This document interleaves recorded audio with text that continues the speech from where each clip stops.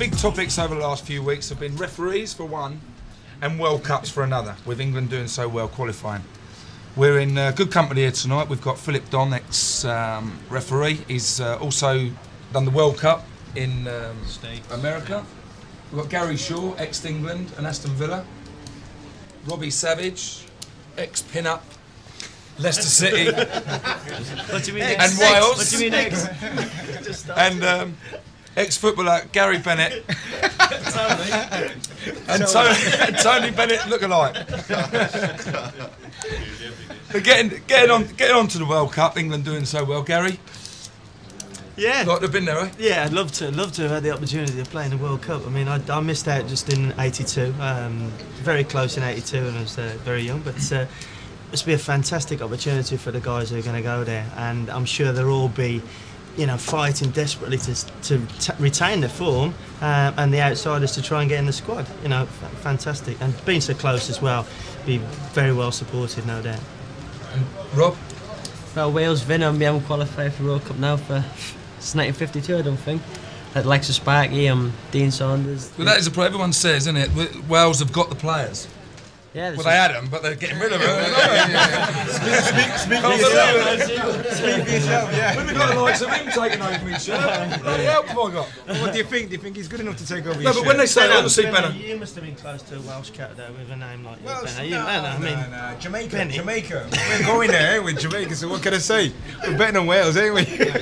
This same as fashion.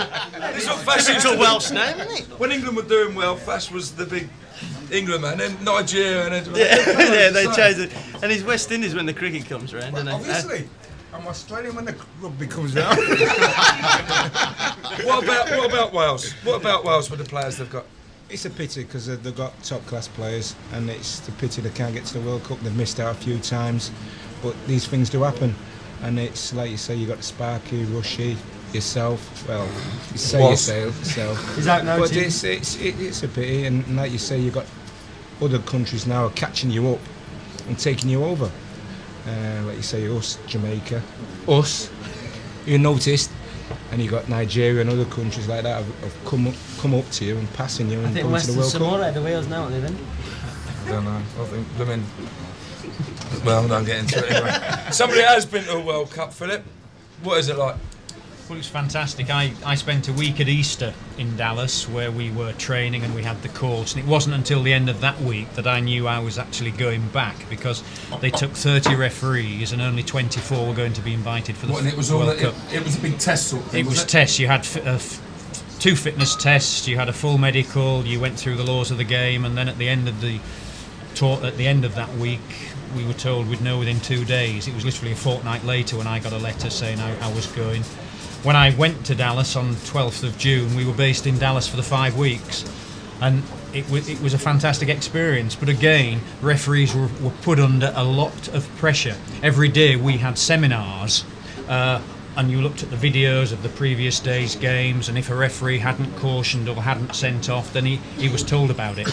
And on a couple of occasions, they actually said to referees, in your first game you cautioned six, you issued one red card, why only three yellows in your second? We want more cards, we want more penalties. And the reason they did the penalty one was because in the qualifying competition, they analysed every game, and the referees only awarded one penalty in every three games and they, we were told that there must be more penal offences committed, and therefore they wanted more goals, they wanted more penalties. Why is that though? Why is that? Pressure?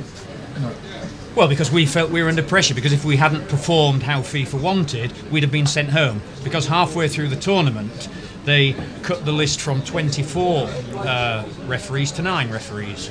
Fortunately, I stayed on and I refereed a quarter final. What are you But, trying but, to say? you, you- but you must be going against your beliefs, really, Philip, in a way, because I mean, surely a, a, a referee, a good referee, from the player's point of view, is one that's like not noticed and one Yeah, that's just that's you know doesn't have to make rash decisions in any way. it.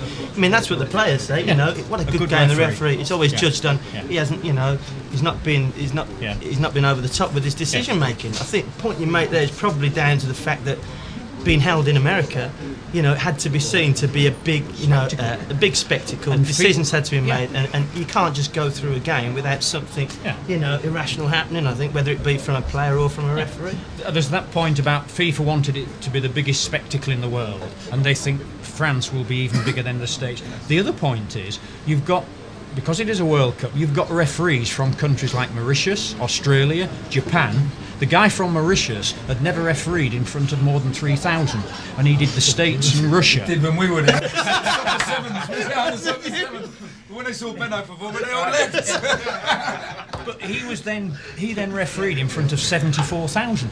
So you can imagine he, he had difficulty in coping with that pressure, and, and he actually only ended up refereeing the one game. Yeah, but a penalty is a penalty.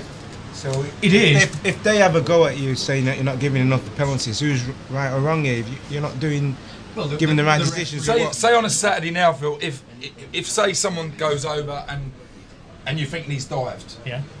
if you think that out there, then you're saying you'd have to give the pen. No, if, if, if I thought he'd died, I'd caution him because we were told also we had to caution players who feigned injury or tried to get other players cautioned or sent off. I can't understand being FIFA saying you should be giving more penalties or things like that. If They must think that you're not. The decision is wrong. What you're making. They, they, they were saying that in the qualifying competition, only one penalty was given in every three games. They're saying, come on, chaps, there must be more penalty offences and you're turning a blind eye to That's it. Americans, though, isn't it? That- They want action, they want goals, don't they? They They, want- need, I mean, yeah, shootouts and that's it. everything, but The th- thought about. It was to do with the entertainment. What about was it. what, what about Euro? I know, obviously, getting there and and, and getting picked. I think is good for you, same as us getting Yeah, picked. that's right, Planet. that's right. What are the, what um the other, the other benefits like the money and all that? I mean, did you end up because um, uh, the referee for um, the Holyfield Tyson fight, Yeah. 10, 10 grand he got. Is it ten grand he got? Right. Ten grand. Yeah. Well, if I tell you that for the five, the week at Easter when I was in America, and the five weeks I was off school in June and July, I had to take unpaid leave from school. So I didn't. I got some new suits. yeah, but I'm from my job as a head teacher. I actually had to take unpaid leave. Anytime I went abroad, I lost out.